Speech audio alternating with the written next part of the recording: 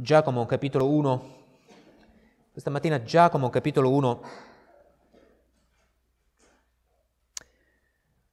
Leggerò dal versetto 19 al 21. Giacomo 1, dal versetto 19 al versetto 21.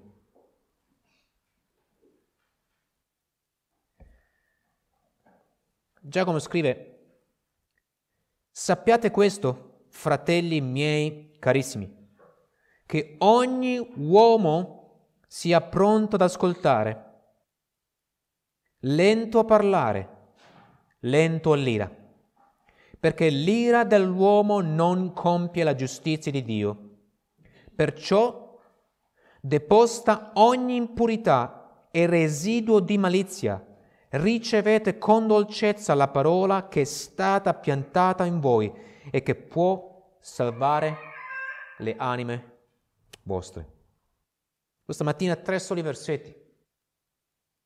Tre versetti importanti per noi figli di Dio.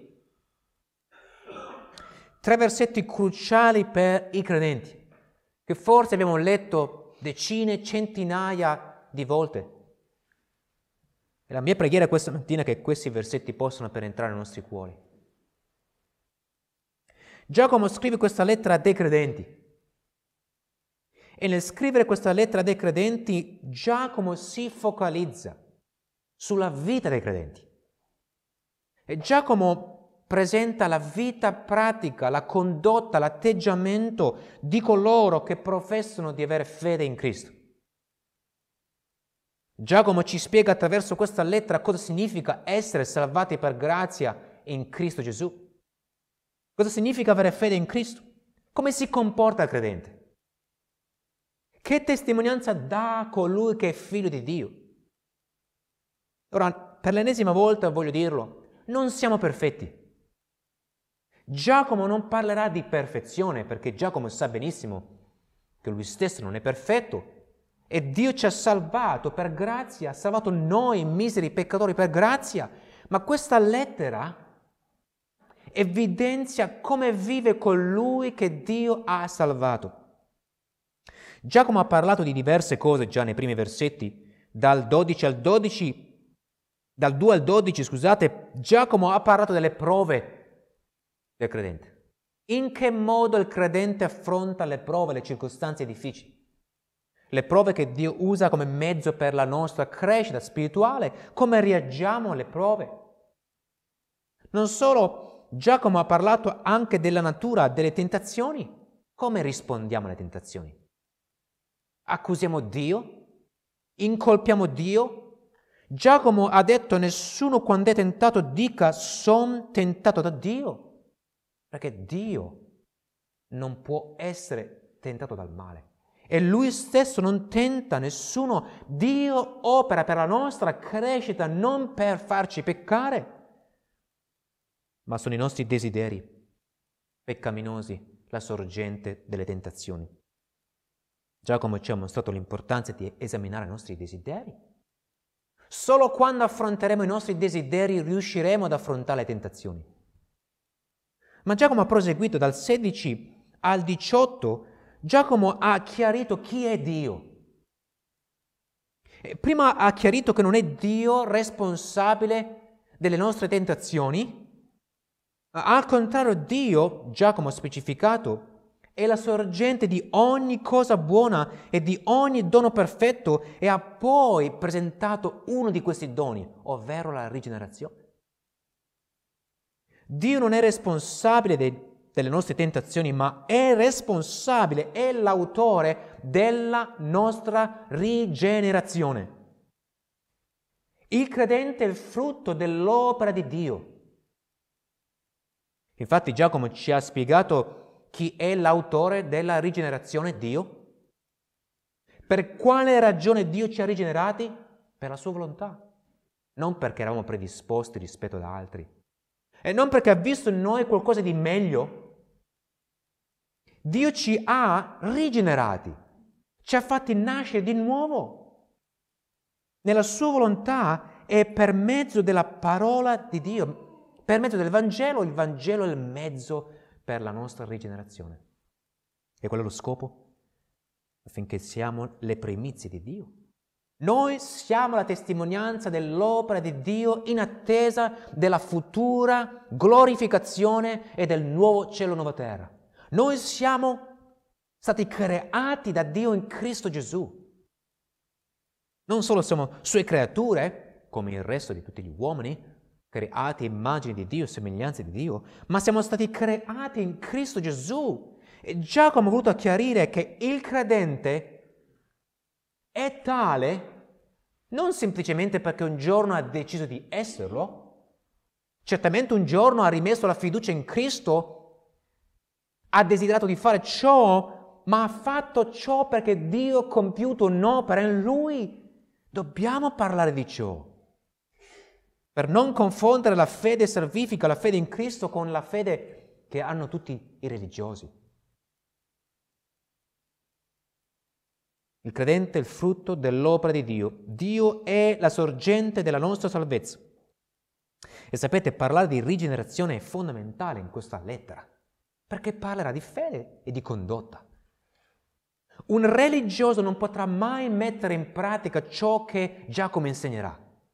Sarà frustrato. Non riuscirà. È impossibile. Ma se siamo rigenerati, possiamo vivere ciò che Giacomo ci dirà. Quindi Giacomo mette in luce che il credente salvato, rigenerato e di conseguenza ci chiarirà come vive colui che è rigenerato.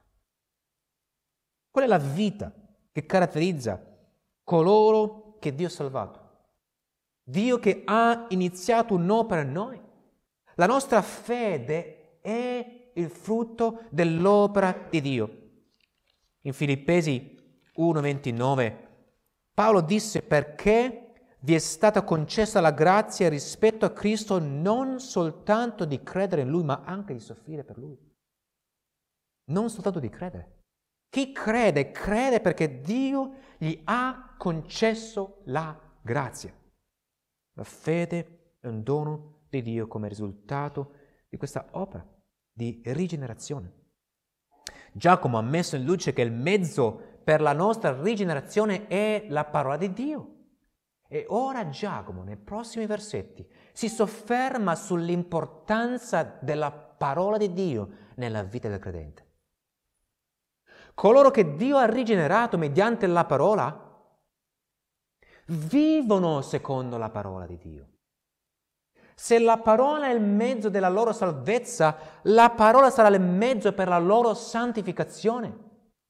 Dopo aver specificato che il mezzo per la nostra rigenerazione è la parola di Dio, ora Giacomo ci esorterà ad ascoltare la parola e a riceverla con umiltà.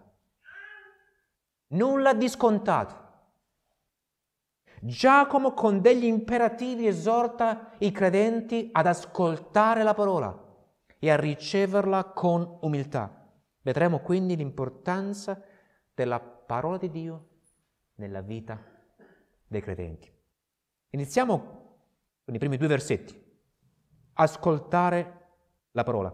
L'ascolto della parola. 19 e 20. Giacomo inizia dicendo, sappiate questo, fratelli miei carissimi. Giacomo usa questa frase più volte, fratelli miei amati letteralmente. Giacomo sta esortando, ma Giacomo ama i suoi fratelli in Cristo. Giacomo esorta costantemente, ma ha affetto amore ed esorta con misericordia coloro che sono in Cristo.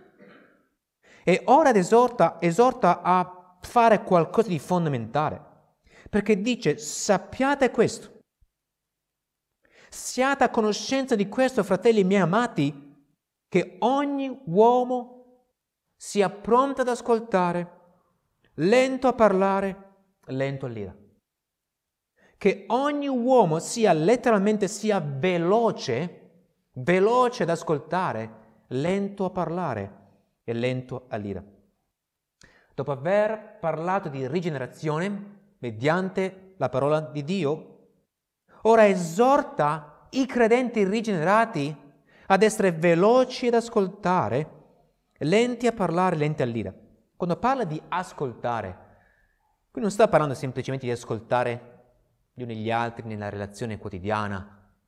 Il riferimento qui è l'ascolto della parola di Dio. Versetto 21 vedremo che dirà, perciò deposta ogni impurità e residuo di malizia, ricevete con dolcezza la parola. In questo contesto esorta ad essere veloci ad ascoltare la parola di Dio. E si riferisce non tanto all'azione, a essere veloci, ma all'atteggiamento. Essere veloci e pronti ad ascoltare la parola di Dio si riferisce all'atteggiamento, al nostro approccio nei confronti della parola, al nostro rapporto con la parola, nel contesto si riferisce all'ascolto della parola di Dio, ovvero ci esorta ad essere desiderosi, desiderosi di ascoltare alla parola, desiderosi di essere sottomessi alla parola, di essere istruiti mediante la parola, di essere nutriti dalla parola. Ecco cosa significa. Essere veloci ad ascoltare la parola. Questo è ciò che caratterizza i credenti. Desiderio profondo di ascoltare, di sottomettersi alla parola di Dio. Essere rigenerati da Dio mediante la parola implica un profondo desiderio di sottomettersi alla parola di Dio. Infatti non dice solo di ascoltare, ma di essere pronti, veloci ad ascoltare, di desiderare di, ascoltare la parola, di meditarla, di leggerla, di essere nutriti. E dice ogni uomo, tutti, indistintamente esortati ad ascoltare la parola. Ecco che la fede salvifica, come risultato dell'opera di Dio, conduce i credenti che hanno quella fede ad essere veloci, desiderosi ad ascoltare la parola con umiltà. Cosa vuol dire? Vuol dire vivere la loro vita focalizzati sulla parola di Dio focalizzati sulla parola di Dio. La parola non riguarda semplicemente la domenica mattina o gli incontri di chiesa. La parola di Dio deve essere al centro della nostra vita quotidiana come credenti rigenerati. Essere veloci di ascoltare, desiderosi di essere attenti alla parola. In Atti 2,42, in Atti 2, proprio all'inizio quando nacque la Chiesa. Atti 2,42, Luca scrive ed erano perseveranti nell'ascoltare l'insegnamento degli apostoli, erano continuamente, dal greco, continuamente devoti all'insegnamento degli apostoli, erano devoti all'insegnamento. Ecco cosa significa essere pronti ad ascoltare, essere devoti all'insegnamento desiderare di essere istruiti, di ascoltare la predicazione della parola di Dio. Esorta prima di ogni cosa ad essere veloci ad ascoltare la parola e poi aggiunge, lento a parlare. Ogni uomo sia pronto, veloce ad ascoltare, lento a parlare. Anche qui sta esortando. Questa esortazione che riguarda la vita quotidiana non è semplicemente in un certo contesto che sei pronto ad ascoltare, lento a parlare, ma costantemente sia pronto ad ascoltare sia lento a parlare. Per essere focalizzati sulla parola è fondamentale essere lenti a parlare. È fondamentale essere lenti a parlare. Cosa significa? Mettere da parte noi stessi mettere da parte i nostri pensieri, le nostre idee e mettere al centro invece la parola di Dio. Probabilmente Giacomo era a conoscenza di questa problematica in mezzo ai credenti. Erano pronti a parlare. Infatti in Giacomo 3 dirà, pensate, fratelli miei, non siate in molti a far da maestri, sapendo che ne subiremo un più severo giudizio. C'era questo atteggiamento di voler parlare, di voler insegnare. Ma Giacomo esorta ad essere prima di ogni cosa veloci ad ascoltare e lenti a parlare, mettere da parte noi stessi, mettere al centro la parola di Dio, non significa che non possiamo più parlare, ma significa che al centro della nostra vita deve esserci la parola di Dio, non i nostri pensieri. Purtroppo nella Chiesa evangelica c'è molta enfasi sulle testimonianze, far parlare. Ora non c'è nulla di errato, ma se è al centro la testimonianza del credente, allora sì che c'è qualcosa di errato. Perché al centro ci deve essere la parola di Dio che ci istruirà sul come parlare, sul come esprimerci. E sapete, probabilmente in, questo contesto il riferimento è anche alla tendenza di parlare nel contrastare la parola di Dio. La possibilità che il credente possa anche indirettamente parlare contrastando la parola, dicendo sì, ma non credo che sia così, non dobbiamo essere troppo pignoli, ma però non capisci ognuno la sua storia quando qualcuno cita la scrittura. Fratelli, già come esorta ad essere pronti e veloci ad ascoltare e lenti a parlare. Potrebbe esserci questa tendenza di parlare, di contrastare, di rigettare la parola di Dio. Già come esorto all'umiltà, a riconoscere il bisogno di ascoltare, di crescere. Perché se siamo pronti a parlare e lenti ad ascoltare non potremo crescere. Le due cose sono legate. La rigenerazione comporta una nuova condotta, una nuova vita questo desiderio di ascoltare, di nutrirsi della parola di Dio, di cibarsi di essa e di essere lenti a parlare, lenti a insegnare. Piuttosto fare dei passi indietro per ascoltare, per essere nutriti, più che presentarsi come degli insegnanti, una grande responsabilità. Non siete molti a far da maestri. Cosa ci motiva a parlare? Cosa ci motiva a insegnare? È la chiamata di Dio? È la volontà di esortarci gli altri? O quel parlare sostituisce la parola di Dio? Questa è una nostra responsabilità di ciascun credente. Giacomo esorta noi ad essere pronti, veloci ad ascoltare, a sottometterci alla parola e lenti a parlare la tendenza di contrastare la scrittura, questo è quello che accade e che sento come pastore spesso. Credenti professanti che contrastano la scrittura e che rispondono alla scrittura in modo negativo, anziché ascoltando dicendo sì, ma non siamo perfetti, non riusciamo a fare ciò che ci insegna la scrittura. Questo vuol dire contrastare. Come Gesù esorta a essere lenti a parlare. Attenzione a non contrastare la scrittura. Attenzione a come parliamo, a cosa diciamo. E poi c'è un'altra esortazione. Che ogni uomo sia pronto ad ascoltare, lento a parlare, lento all'ira. Non solo lenti a parlare, ma lenti all'ira. Qui Giacomo condanna questo atteggiamento carnale, iracondo, l'amarezza, l'ostilità e probabilmente anche qui nel contesto si riferisce a questa ostilità nei confronti della parola, questa ira nei confronti di colui che proclama la verità, nei confronti di quello che Dio rivela, questa amarezza nei confronti della scrittura, non solo l'ira nei confronti dei fratelli, ma anche nei confronti della parola di Dio. Che sapete, quando si è pronti a parlare, saremo pronti anche ad adirarci. Perché al centro non ci sarà la parola di Dio, ma ci sarà il nostro io, il nostro ego, i nostri pensieri e ci porterà ad essere iracondi nei confronti della parola di Dio o nei confronti dei fratelli.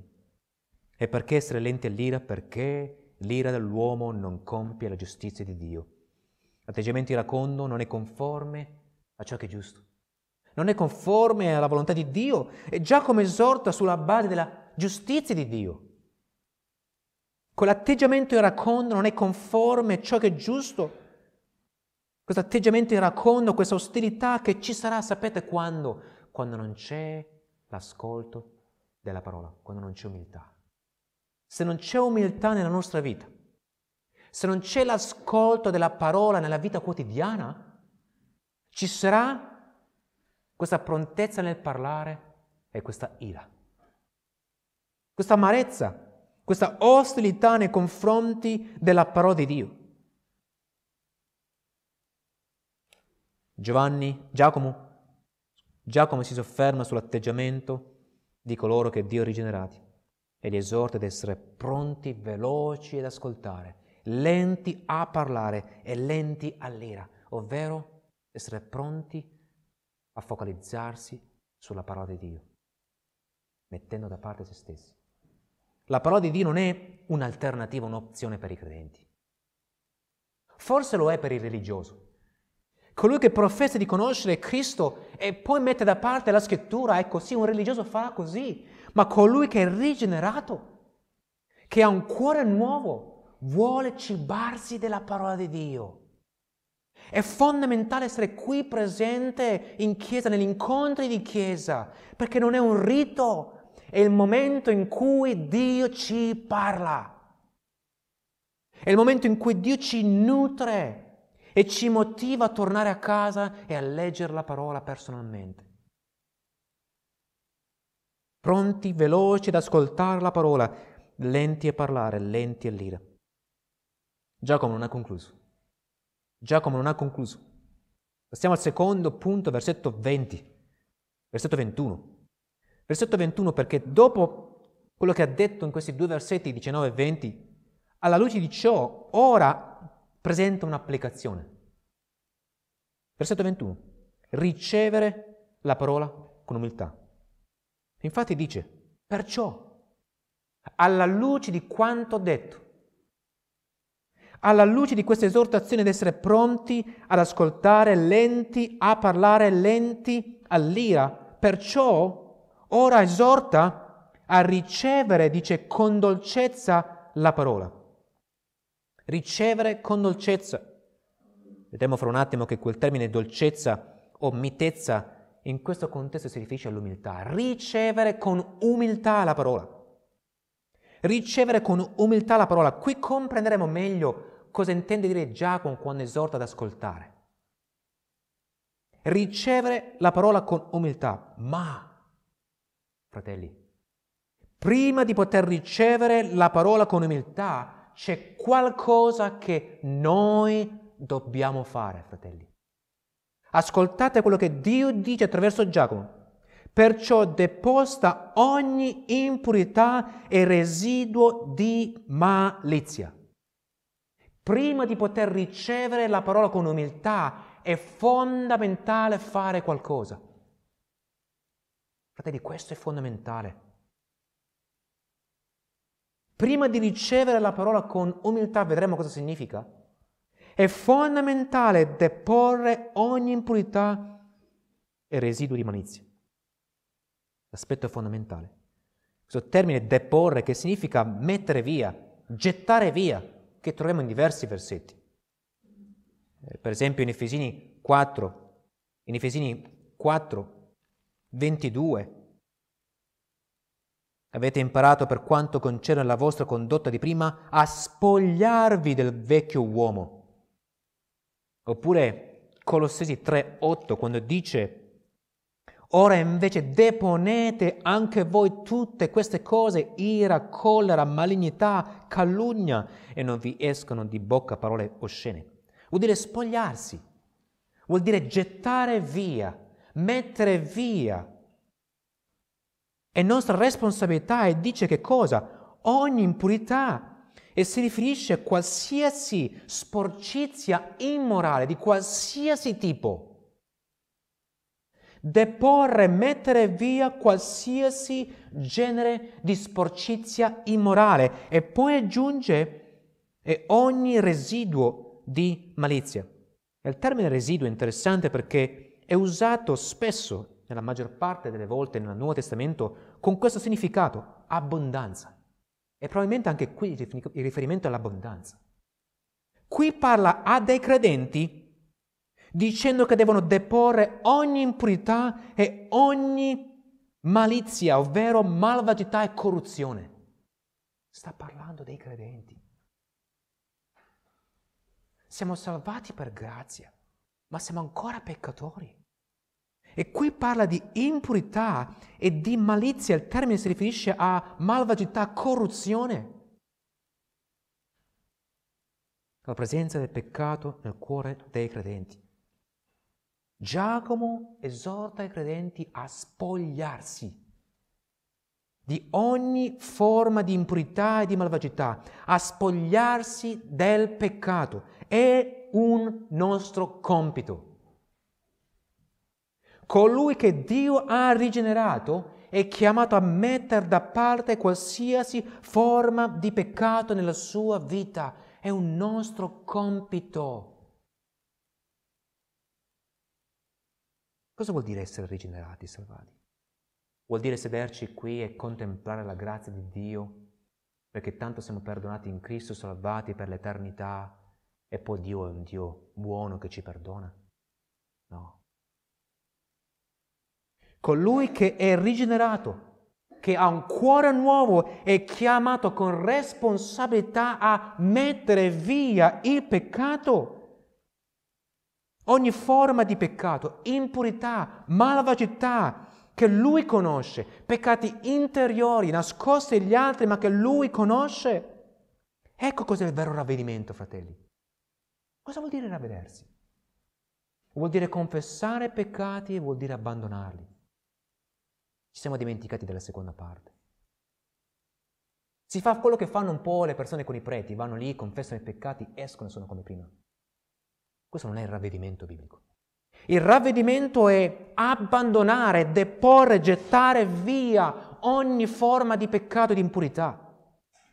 E spetta a colui che è rigenerato, anzi, anziché attendere in modo mistico l'intervento di Dio. O quanta passività che c'è nella Chiesa. Qui parla a noi credenti e dice a me, a voi, di mettere da parte il peccato.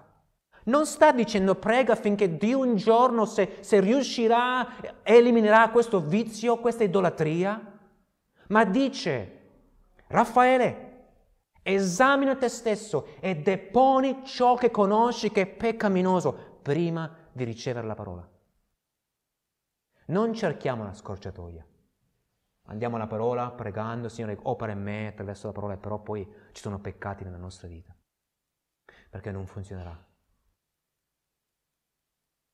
Giacomo qui ci mostra che colui che ha fede salvifica, che è rigenerato, nella grazia di Dio ha ora la capacità e la volontà di dire no al peccato. Fratelli, mi rattrista vedere credenti professanti che non dicono no al peccato, ma che dicono sì al peccato, che vivono nel peccato, che amano i loro vizi, e che si giustificano e che sono una cattiva testimonianza. E Giacomo ora ci riprende ci istruisce, fratelli.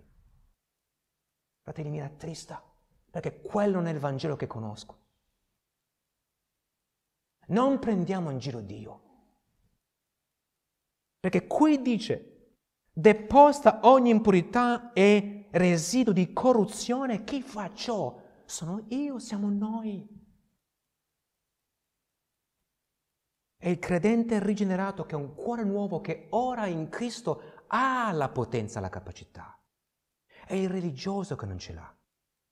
È il non credente che non potrà mai dire no al peccato. Lo sappiamo quando eravamo non credenti noi. Eravamo schiavi del peccato. C'era amore per il peccato.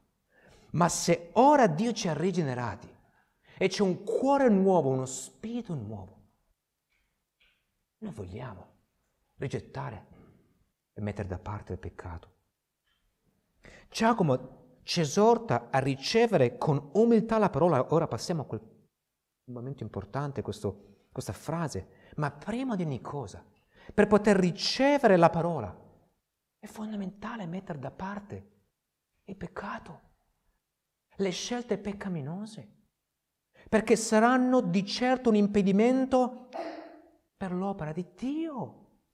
E non usiamo la sua sovranità per dire ma Dio è sovrano? Posso io impedire la sua opera? Sì. Perché Dio ci responsabilizza. O oh, quante persone ho sentito dire Dio è sovrano e anche se sto peccando sta permettendo ciò, mi guiderà. Ma questo è diabolico, questo atteggiamento. Dio è sovrano, ma noi siamo responsabili e se non mettiamo da parte ogni impurità non cresceremo. Non cresceremo. Infatti ora esorta, ricevete con umiltà la parola. Ecco, esorta a ricevere la parola. Qui capiamo cosa vuol dire ascoltare la parola. Cosa vuol dire ascoltare e ricevere? Vuol dire accoglierla. Vuol dire essere innamorati della parola. Vuol dire sottomettersi alla parola. Vuol dire desiderare di ubbidire alla parola, ma se non deponiamo ciò che è impuro non riusciremo. Ci sarà cecità spirituale anche per i credenti. La rigenerazione mediante la parola implica questo approccio nei confronti della parola deporre ogni impurità, deporre il peccato, essere integri nella nostra vita. Se non siamo disposti a mettere da parte il peccato, fratelli, esaminiamo la nostra fede. E ve lo dico con tutto me stesso come pastore. Se non siamo disposti davanti alla croce di Cristo al sacrificio di Cristo Gesù, il quale è morto per i nostri peccati, se non siamo disposti a dire no al peccato, c'è qualcosa che, che non va nella nostra vita spirituale. Cristo è morto per i nostri peccati Dio ci ha rigenerati. E ora possiamo affrontare il peccato. Saremo perfetti? No. Ma saremo capaci di dire no al peccato? Sì.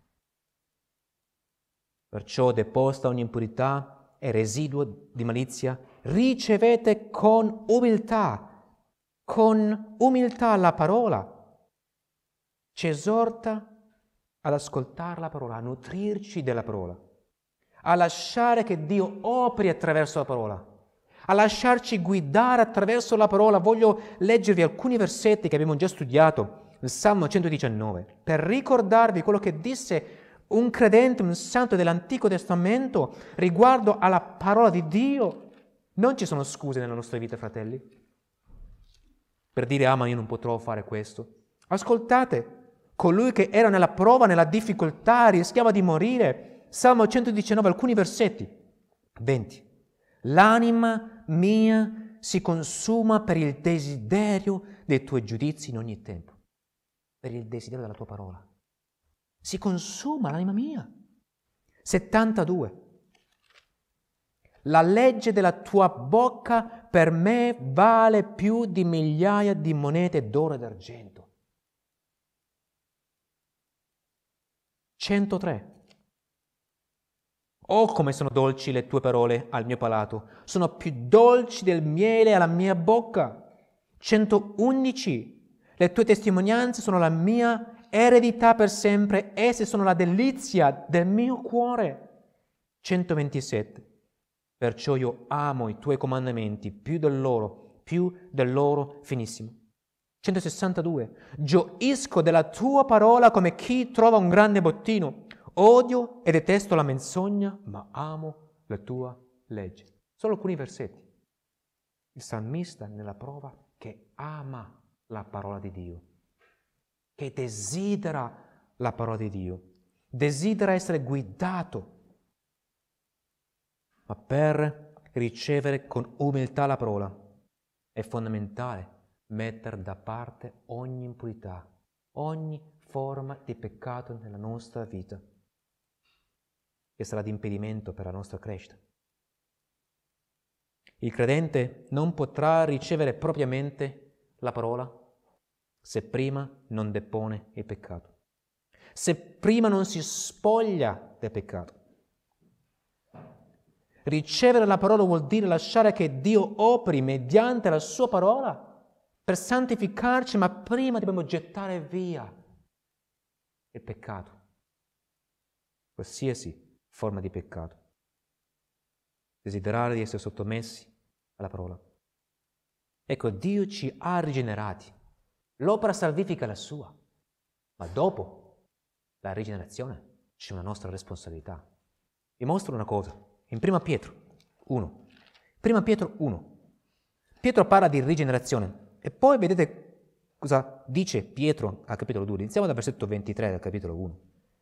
Perché siete stati rigenerati non da seme corruttibile, ma incorruttibile, cioè mediante la parola vivente e permanente di Dio. Infatti, ogni carne è come l'erba e ogni sua gloria è come il fiore dell'erba. L'erba diventa secca, il fiore cade, ma la parola del Signore rimane in eterno.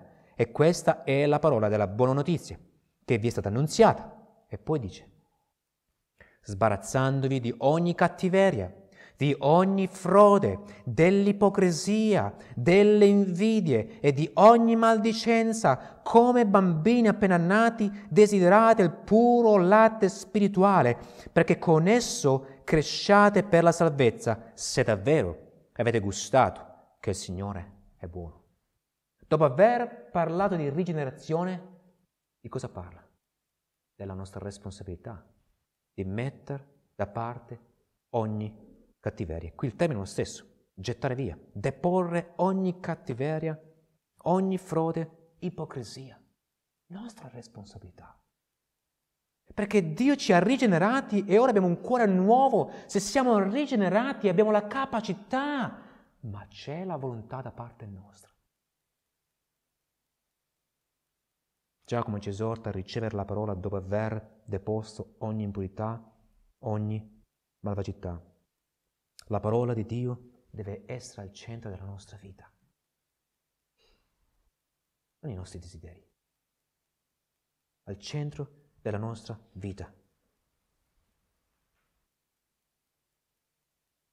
Giacomo specifica ora qualcosa riguardo alla parola di Dio. Ascoltate quello che specifica, meraviglioso. Perciò deposto ogni impurità e residuo di malizia, ricevete con dolcezza la parola che è stata piantata in voi.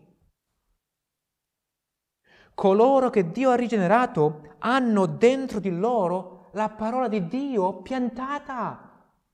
È come un seme, il seme incorruttibile di cui Pietro ha parlato, prima Pietro 1,23, che Dio ha piantato nel nostro cuore. La parola è piantata in noi, non è secondaria nella nostra vita, è dentro di noi. Se Dio ci ha rigenerato attraverso la parola e la parola è nel nostro cuore, di conseguenza ci esorta ad ascoltarla, perché è in noi, è piantata in noi e non solo è che può salvare le anime vostre, è anche in grado di salvare la nostra anima la parola. La salvezza è possibile grazie alla parola di Dio. Abbiamo visto rigenerati mediante la parola di verità e ora parla di salvezza. E qui si riferisce non solo all'opera iniziale di Dio, ma all'opera finale, la futura glorificazione. La certezza della nostra salvezza è possibile grazie alla parola che è piantata in noi. Quale gioia! Siamo certi della salvezza perché Dio ha piantato questo seme, la sua parola, mediante la quale ci ha rigenerati. Coloro che Dio ha rigenerato mediante la parola e che hanno la certezza della salvezza, ora sono chiamati a riceverla, ad accoglierla, ad ascoltarla. Quante volte ho parlato con dei credenti dove quasi sembra che la parola di Dio sia secondaria. Non dobbiamo essere troppo, troppo attaccati alla parola di Dio. Ma la parola è stata piantata in noi ed è il mezzo per la nostra rigenerazione e per la nostra salvezza. La certezza della nostra salvezza è possibile grazie alla parola di Dio piantata in noi. Pensate a coloro che pensano che si possa perdere la salvezza. Si sono dimenticati di un pezzo. La salvezza è possibile perché è Dio che ci ha rigenerati ed è Dio che ci preserva dalla caduta grazie alla parola che è in noi. E noi come credenti potremmo vivere senza ricevere e ascoltare la parola? Sarebbe totalmente incoerente per colui che è rigenerato e che ha la parola nel suo cuore non ascoltarla, non riceverla con umiltà. In questi tre versetti questa mattina Giacomo ci ha esortati in modo chiaro Nessuno può dire che non c'è chiarezza attraverso questi versetti. In modo chiaro ci esorta ad essere ascoltatori, ascoltare la parola, ad essere pronti a nutrirci di essa, ad essere desiderosi di ascoltare l'insegnamento della parola anziché fare altro che ci consuma la mente. Usare l'insegnamento per riempire il nostro cuore della sua parola, per nutrirci. In questi versetti l'enfasi è sulla centralità della parola nella nostra vita.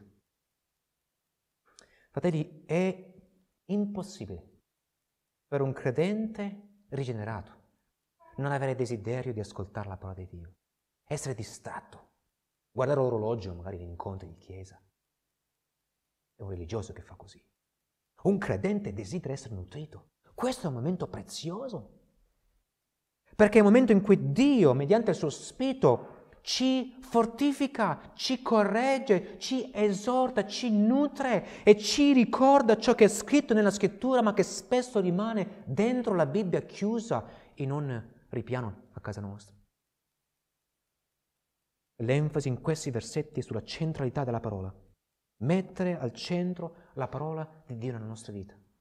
Mettere da parte noi stessi, lenti a parlare e lenti all'ira, mentre si è pronti a parlare, si è pronti a insegnare, si è pronti ad essere anziani di chiesa subito perché mi piace insegnare, ma questo è terribilmente errato.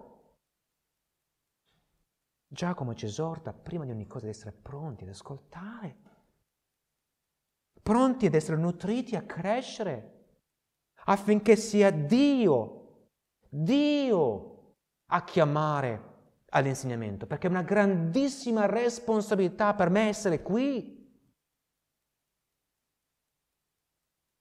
L'enfasi sull'ascoltare la parola, mettere al centro la parola e mettere da parte noi stessi. Quante volte potremmo, anche in modo indiretto, essere arrabbiati con Dio, ostili, avere amarezza nei confronti della parola di Dio perché le cose non vanno come vorremmo.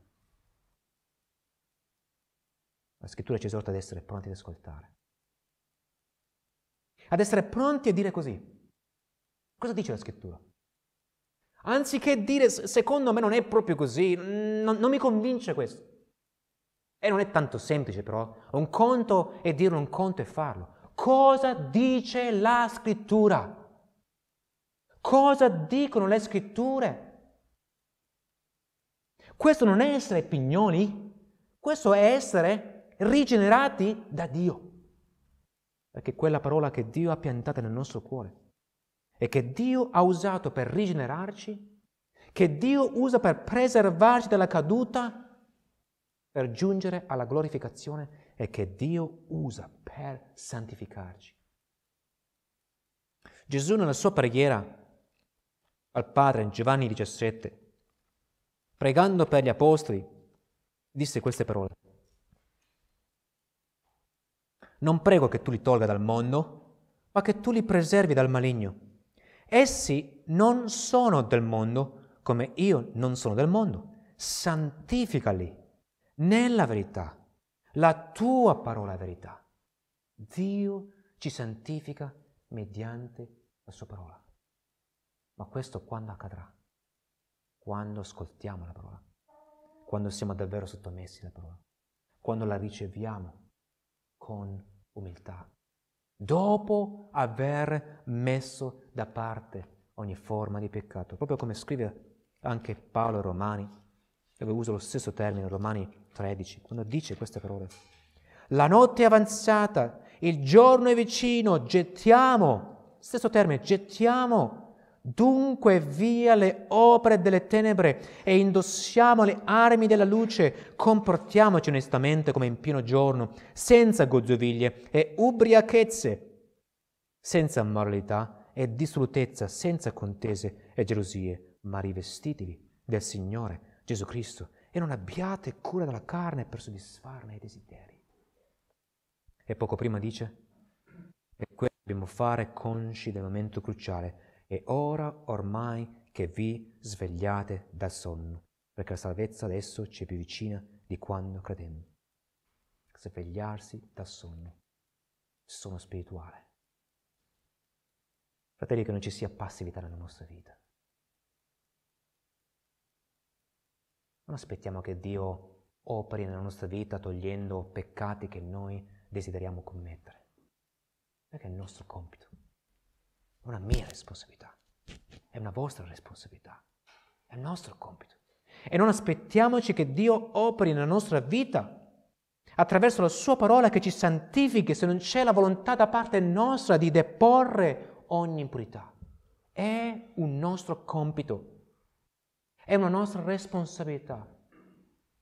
E Paolo ci esorta a svegliarci dal sonno, così come Giacomo ci esorta a deporre ogni impurità, ogni residuo di malizia, per ricevere con umiltà la parola di Dio. Giacomo ci esorta ad essere ascoltatori della parola. Non significa semplicemente essere qui a ascoltare la predicazione, perché questa forse è la parte più semplice.